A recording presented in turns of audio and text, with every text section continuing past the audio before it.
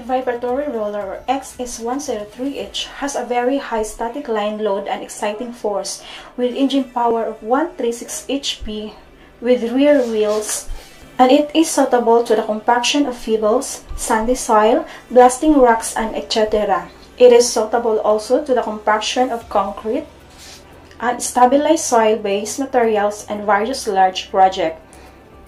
Thus, it's kind of important compaction of equipment in the construction of large projects such as port, railways, expressway, mine, and etc.